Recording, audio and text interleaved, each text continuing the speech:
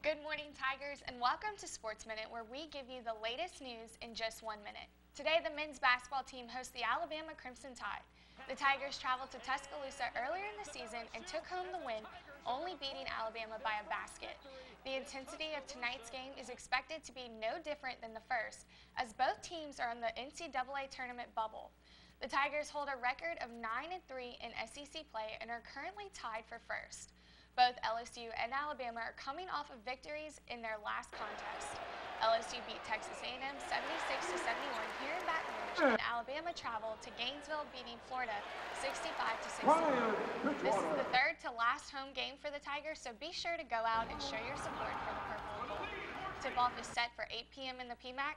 Visit our website tonight for more coverage of the game at tigertv.tv. For Tiger TV Sports, I'm Cameron Stelly.